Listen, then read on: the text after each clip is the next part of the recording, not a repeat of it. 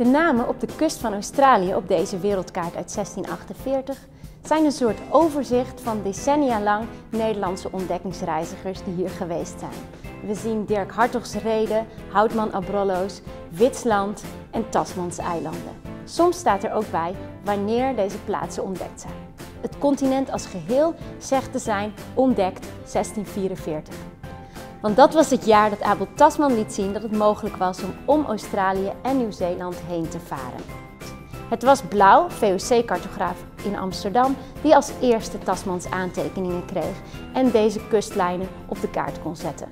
Blauw was ook degene die deze landen de namen gaf. Nova Hollandia en Nova Zeelandia, Nieuw-Holland en Nieuw-Zeeland. Nova Hollandia of Nieuw-Holland staat tot in de 19e eeuw op kaarten. Nieuw-Zeeland kennen wij nog steeds.